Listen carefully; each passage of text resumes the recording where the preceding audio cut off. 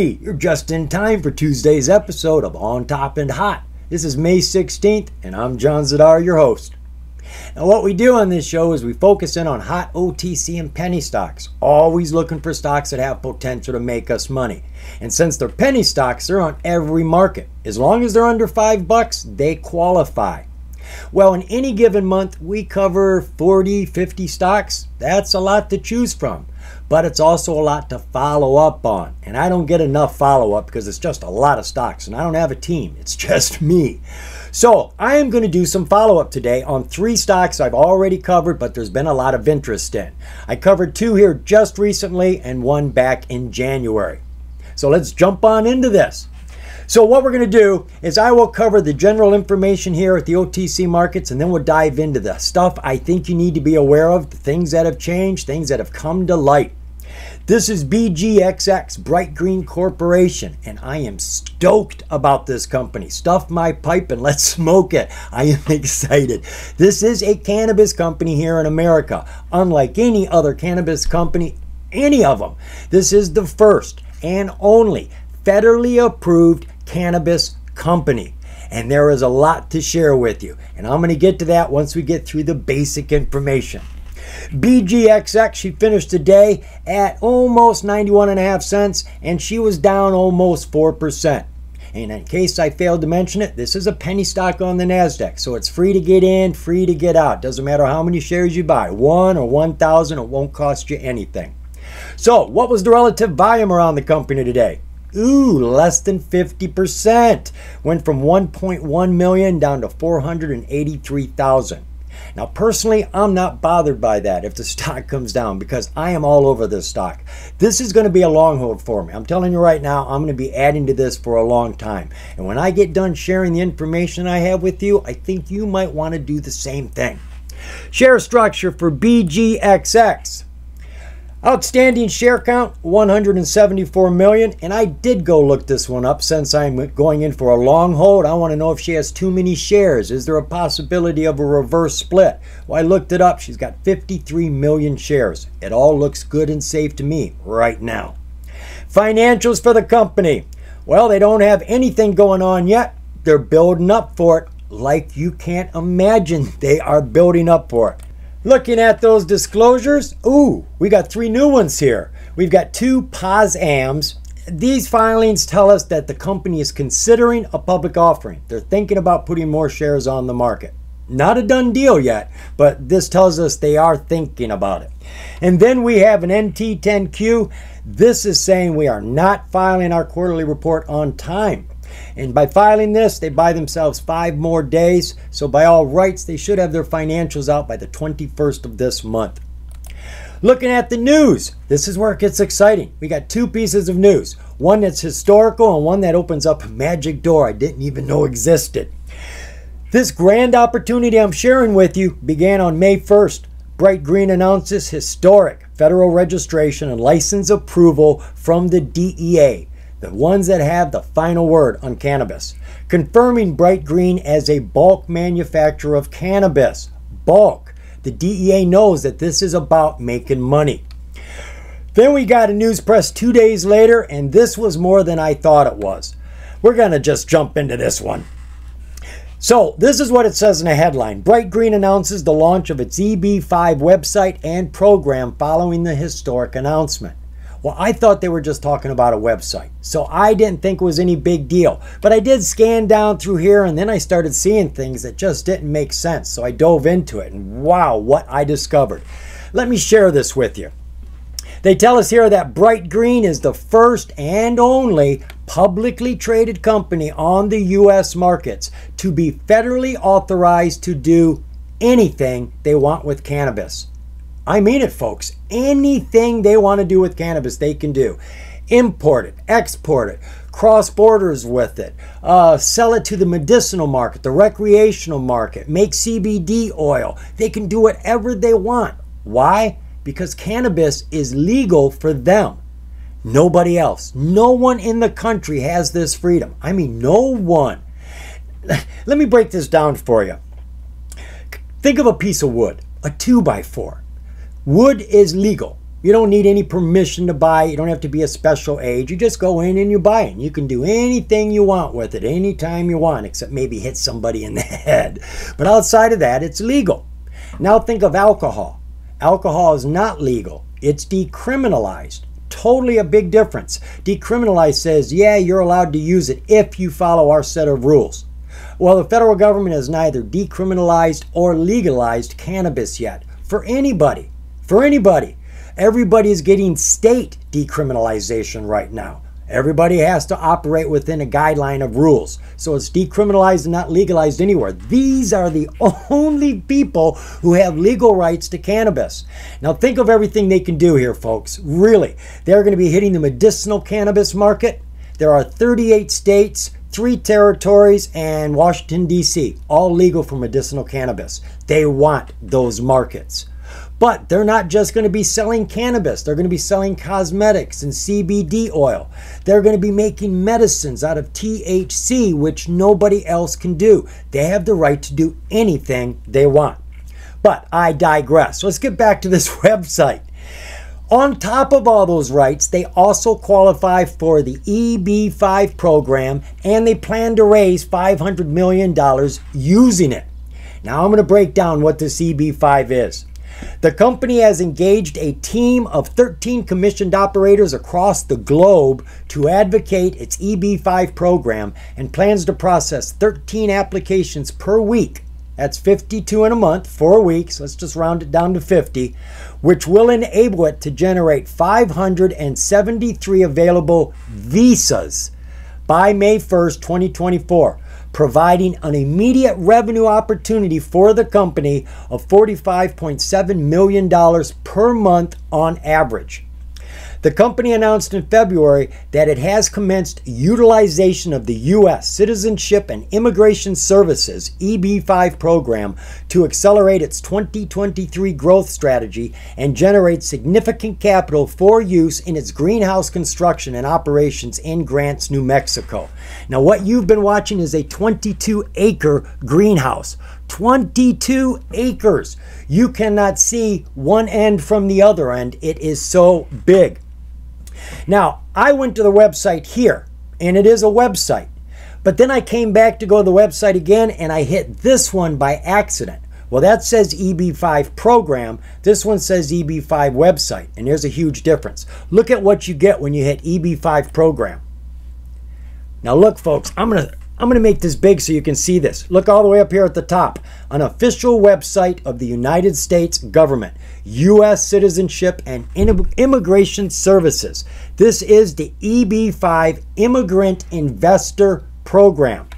Under this program, investors and their spouses and all their children under 21 that aren't married are eligible to apply for lawful permanent residents in the United States and become legal green card holders if they meet one of these conditions. And the very top one is it in a nutshell. Make the necessary investment in a commercial enterprise in the United States. Now, I'm going to expand on this, but that's what this is about. They are looking for investors outside of the country to buy their citizenship by making an investment in this company. Mind boggling, isn't it? All right, let's go back to that news because I got more I want to share. I want to jump over to this website and I want to pick it up from there, folks.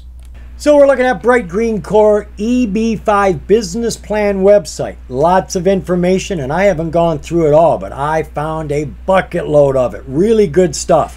Now, first off, Here's that video you were just watching that I put up, but I spliced mine up. I took the background music out. So if you want it in its entirety, lots of information in there you can get quickly. Have at it. I brought you over here to share the EB5 investor presentation but there's no way I can share everything I would want to share with you. This is 75 pages long and it is chock full of strategy, how they're going to make money, how big they're going to get, and it is exciting. I could not stop reading this. I am up to page 60. I got 15 more pages to go. Now, I can't share it all with you, but I've got three pages I want to share with you, multiples of four. That's it. Four, eight, and 12. Now, I may have to splice here, folks, because I may fumble around. They won't let me highlight anything here, and I can't remember everything I wanted to share. This one I remember, the company overview. This is all the benefits, all the advantages to investing with this cannabis company over any other cannabis company, and even more than that. They tell us here that through their work with the US DEA and building on their memorandum of agreement for the manufacture of cannabis and derivatives at unprecedented scale, nobody's going to hold them back. The company possesses a significant competitive advantage over all other existing U.S. cannabis growers, having been selected by the U.S. government to not only grow it, but manufacture it and sell it legally under federal and state laws. So they've got the rights to sell. They're not just doing scientific research, which is what everybody thinks a license from the DEA is. This is all about profit. They go on to tell us here that the company has significant intellectual property available to develop new medicines through the recognized FDA pathway. Think about that. Now we're outside of the cannabis companies. Now we're talking biotechs, biopharmas. They have an advantage over them those biotechs cannot touch THC legally. They cannot do any research with it. It's illegal unless they get permission from the DEA. This is the only company that has permission to work with THC. And they say they've got intellectual property, some IP, that they can come out with some medicines. And they would be the only ones who would be even possibly come up with a medicine with THC. And it sounds like the FDA has created a pathway for them if they're successful. They also tell us here that they have completed that 22 acre greenhouse. Humongous, but it's little compared to what they want to do. This EB5 program, $500 million they're going to get from it, is meant to build a 114 acre greenhouse. Oh my God. It will absolutely be the world's biggest greenhouse. And there's a reason they're doing that. That answer is on page 8, and I've made it a lot bigger, so hopefully you can read this fine print. First, while it is DEA's intention to increase the number of registered marijuana growers who will be supplying the U.S., the CSA does not authorize DEA to register an unlimited number of manufacturers. The DEA is obligated to register only the number of bulk manufacturers necessary to produce an adequate and uninterrupted supply of these substances. So, in other words, if a company can supply all the needs of the country, the DEA won't give out any more licenses. So, BGXX wants to have the biggest greenhouse to supply the most marijuana so that they don't have to worry about any competition. They would be the only federally legal company in America that can work inside and outside the country, through the country, and they wouldn't have any competition because they were supplying an adequate supply. Now, is there a reason for this? Yes. This provision is based on the long established principle that having fewer registrants of a given controlled substance tends to decrease the likelihood of screw ups. they call it diversion. You want to keep things in order. The less people you have involved, the less companies, the easier it is to keep things the way they should be. Now let's run over to page 12. What was page 12? Oh, yes. This is about the EB5 program and how these people from other countries are coming into the country by investing in this company. They tell us that the capital generated by the EB5 program will be used to fund that huge greenhouse. Bright Green, through its partnership with Regional Center, will raise sufficient additional capital by selling private placements for $800,000 apiece. That's what these new immigrants have to pay if they want to get into the country $800,000. But look how this breaks down. They have to buy just over 22,000 shares of the company stock at $40 a piece, $39.99. Yes, the shares we're buying at 91 cents, they're paying almost $40 for. But that's not all. What they're getting are restricted shares. They cannot sell them because there's no market for restricted shares. How is this good? This is what goes on.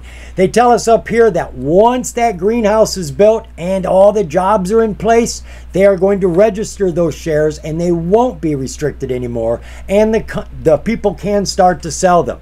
Now, they go on to say we can't guarantee that the stock is going to be worth that at that time, but you can sell your shares nonetheless. What I'm saying here is, folks, they're getting money. They're bringing in immigrants who are investing huge money into a company at $40 a share, which I'm sure somewhere along the line has got to help, even if it's right now, us talking about it. And they've got everything going on. I mean, we don't even know how big this is going to get. I don't mean their greenhouses, I mean their business. They're going to hit the medicinal market, the recreational market. They're going to have CBD oils.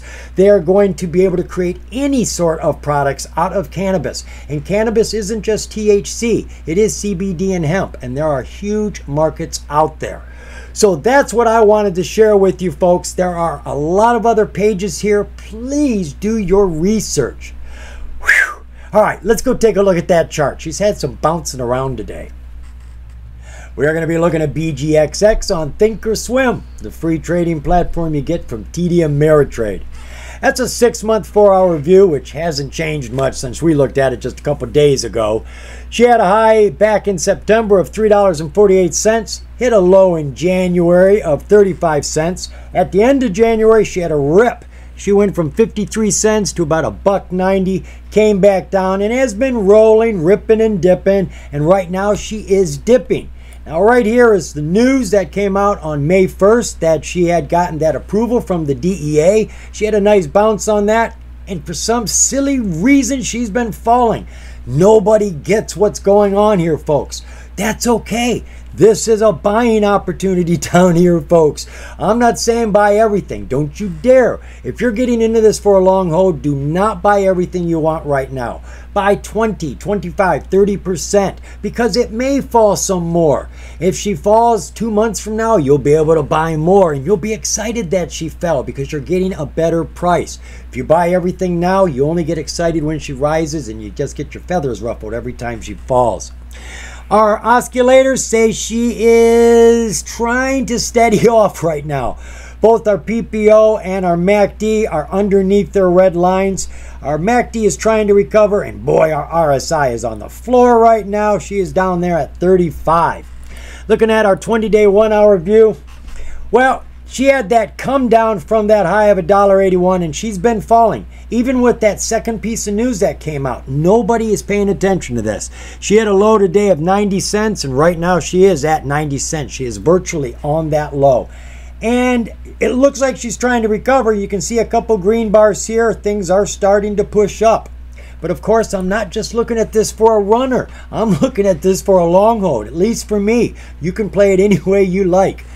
Five day, five minute. $1.19 five days ago. And she has just been swooping down to the floor. Right now, we've got another bounce. She's gotten herself on top of the 50, still underneath the 200 day SMA. Oscillators are the strongest they've ever looked. But again, I don't know what's going to go on here. I know what should be going on, but I don't think people understand. And you know what? I'll bet you most don't even care because it's a cannabis company and cannabis is just kind of falling off of everybody's radar because it's not really getting anywhere and they're not changing laws. So until laws change, God only knows when that's going to be. This company has got huge advantage over everybody, being the only company, the only individual to have legal rights to cannabis to do whatever they want, wherever they want in this country and outside of this country, wherever it's legal as well. I am excited. BGXX, do some more research. Go back to that presentation. Read all 75 pages. See if you get excited too. We're now going to take a look at a stock we just covered the other day. This is ticker LTRY, lottery.com. That's right, the lottery, the scratch off tickets, Powerball. You know exactly who I'm talking about. Well, the other day, some huge news came out. It was a dilemma, it was a problem. And if they could get over that hurdle, there was going to be probably a huge explosion. Well, things happened and transpired, but not exactly the way we were hoping. And everybody's asking, what's up? So I'm going to show you what's up. So let's get the general information out of the way here first. LTRY finished today at 51 cents with almost 11% drop today. She too is a penny stock on the NASDAQ. So, what was the company's relative volume today? About double. She jumped from 474,000 to 950,000, just under a million. Share structure. We don't know what the float is, but we know it's going to be under 50 million, which is the outstanding share count. The financials. This is where all the problems came in. They gave us a huge number here of 68 million, jumping from 7.4 million. But the real problem was down here. They were missing quarterly reports and they were given time to get these reports in and that time ran out and they were just about ready to be kicked off of the Nasdaq. They were going to be delisted, but they were given the right to appeal the decision and that's what they did. And they tell us over here it was on March 23rd, 2023, that Lottery.com requested that hearing to appeal the delisting determination made by NASDAQ. As such, the company proposed to the panel a compliance plan that included a tentative schedule to complete the delinquent filings as requested. I thought it was hardcore. I didn't think it was tentative since they're giving dates because they tell us down here on May 8th the company received a letter from NASDAQ notifying the company the panel had granted the company's request to continue its listings, subject to the following conditions. Now, that doesn't sound very tentative to me. On or before May 15th, which was yesterday, Monday, the company shall provide the panel with updated financial projections for 2022 and 2023, which there are none. There's nothing there beyond 2021 including the income statements and balance sheets. Plus, on May 15th, yesterday, the company shall file with the SEC the amended annual report on Form 10K for the year ended December 2021 and the quarterly report on Form 10Q for the quarter ending March 31st. And we had been told that they had already started on the annual report. So things looked good. Well, we waited for Monday. I told you all of this on Sunday. We were looking for those filings, looking for the numbers. I mean, we wanted the filings to come out so they didn't get delisted, but we wanted the filings to come out to give us those numbers because we had seen humongous growth. Well, a filing did come out yesterday. It was actually called a Form 10QA, a QA. I'm not very familiar with these, so I had to dive into this. They tell us this is for the quarterly period ended March 31st. So we saw that they were working on that 10K, the annual report, and now we see them working on one of their quarterly reports. So here's the situation. Now, there's a lot of details here, and I'm going to try to exclude the dry stuff and just give you the meat so that you can see what happened here. On July 6th, the company announced that the audit committee had retained outside counsel to conduct an independent investigation that revealed, among other things, issues pertaining to the company's internal accounting controls. And here's where they found the mistakes. On September 2021, the company entered into a purchase agreement with a major customer for the sale of various service credits with a total purchase price of $30 million. The customer provided payment prior to December 2021 in the form of a check accepted by the company for deposit. No, it didn't bounce. Uh, the company discovered that the service credits it had sold to the customer were non transferable since the company was prohibited from transferring the advertising portion of the service credits and therefore could not complete the sale of such credits, the company canceled the transaction. In addition, the company had recorded a cost of sales related to this transaction in the amount of $10 million. So they got to pull 30 million off of the revenues, put uh, take 10 million off of costs. These are some huge numbers that they have to make amendments with. And that ain't it. There's more. In an unrelated transaction, the company entered into an arrangement with another customer totaling $5 million. Due to the uncertainty of the collectability of the remaining accounts receivable, they had only gotten a half a million. The company should not have recognized any revenue from this arrangement during the year ended December 2021. So they got to pull another 4.5 million off the books. We're not done yet. Further, the company determined that approximately $2 million of prepaid advertising credits purchased during 2017 and 2018 may not be able to be fully utilized. As a result, the company decreased prepaid expenses by $2 million. And when you come down here, As previously reported, their cash was 50 million. Then you have to adjust 46 million off of that. Now their cash assets is 4.2 million. Looking at their revenues for the quarter of March 31st, previously reported they did $21 million in that one quarter. After they took all that money off that they didn't need to have on the books, 3.6 million is all they got. Now it seems to me the problem up here is when they're selling credits when they're selling service ahead of time. Things aren't working well there, so maybe they shouldn't do that. And that's all I really see here. I mean, there's a lot of information here, and you can break it down further and further. They got lots of numbers here. But the bottom line, as far as I can see, they did not get in everything on Monday. They were supposed to have financial projections for 2022 and 2023, plus income statements and balance sheets. We didn't get any of that. They were supposed to give us a 10K for 2021 and a 10Q for March 2022. We got the March 2022. They made some adjustments, they fixed some things, but where's the rest? Are they going to stay on the market? I don't know. I'm expecting a letter from the NASDAQ. Maybe we won't even get that. Honestly, it's not for me to say what FINRA or the SEC is going to do. So, the other thing I want to point out, uh, did, did I actually have this colored here? Uh, I don't remember if I actually had it highlighted. The company stopped selling lottery tickets July of 2022. Did you notice that they quit selling them? I just didn't pay attention because I don't buy them on a regular basis. Sorry, lottery.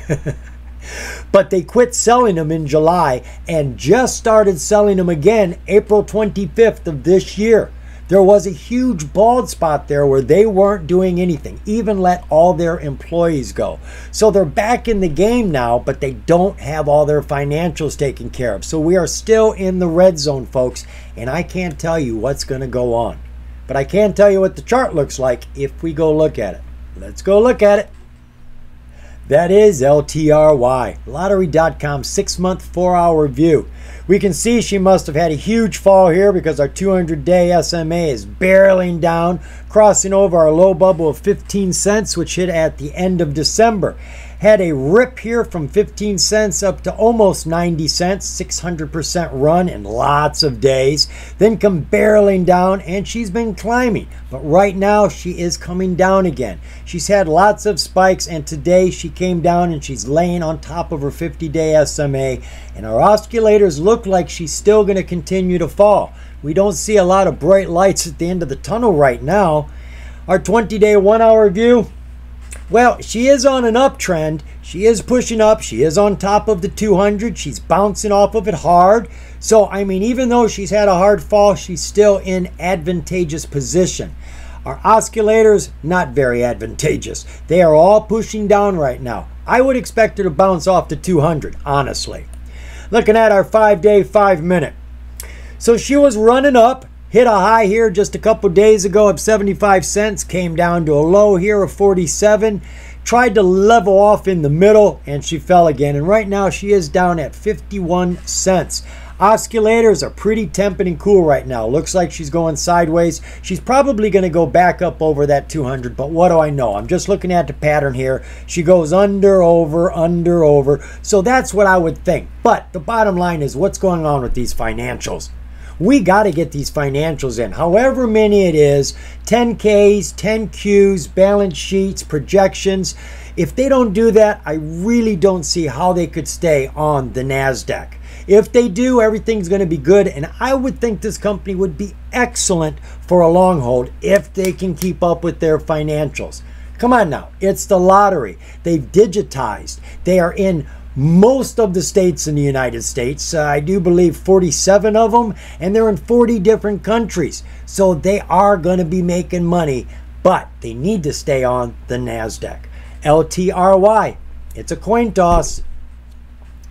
Last stock we're looking at, another penny stock on the NASDAQ. This is We Trade Group, ticker WETG, WETG. We looked at this back in January and I have not forgotten this company. Oh my God, the research and due diligence necessary to keep up with what they're doing.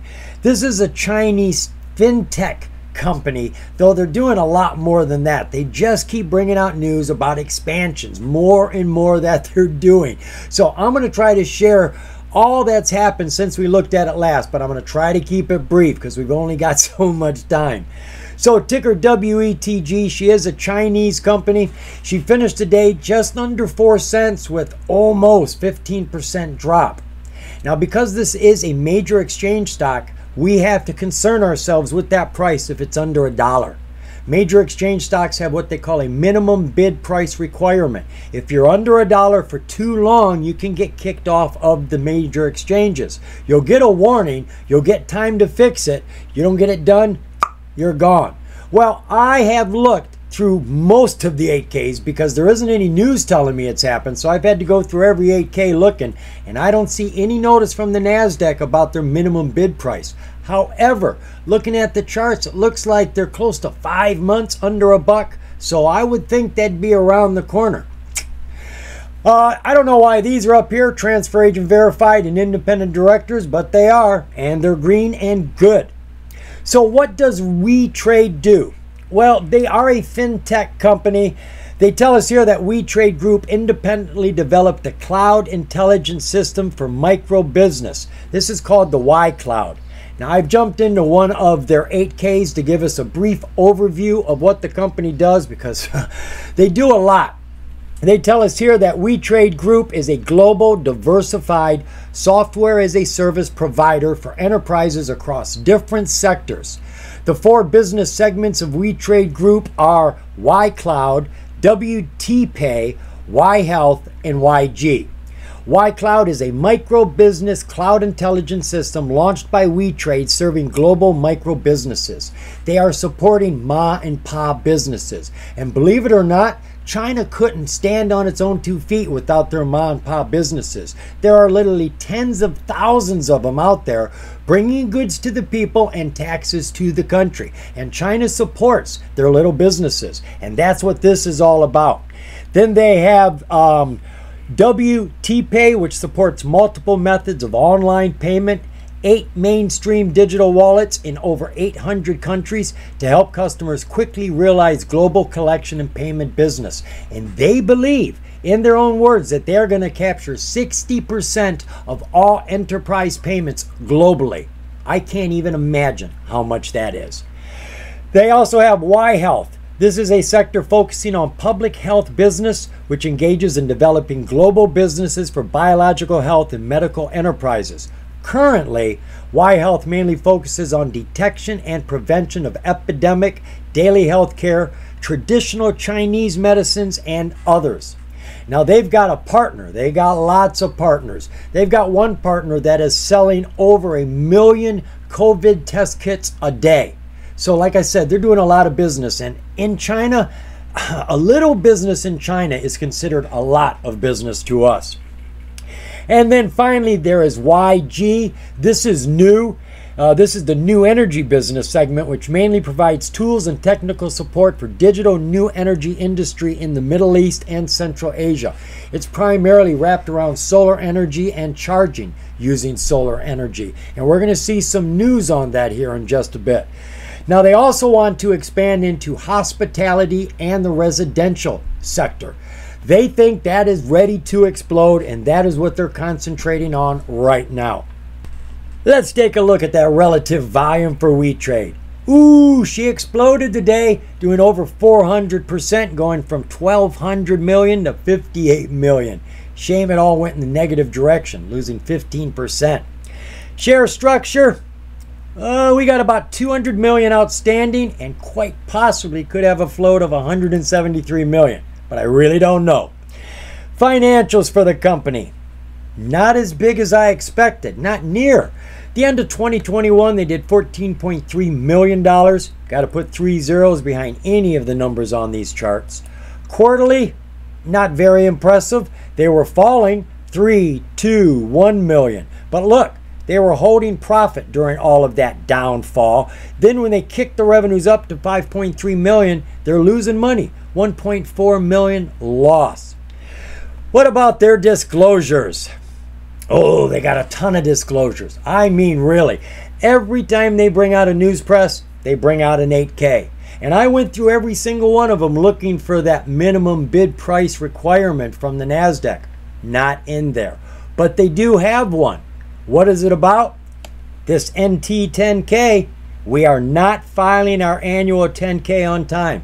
This gives them 15 more days. Well, this was filed on the last day of March. Well, they are really late. That's the problem. And that's the hot water that they have to deal with right now.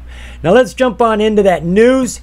I did have this all highlighted, but I lost it. But I do remember what I want to talk to you about.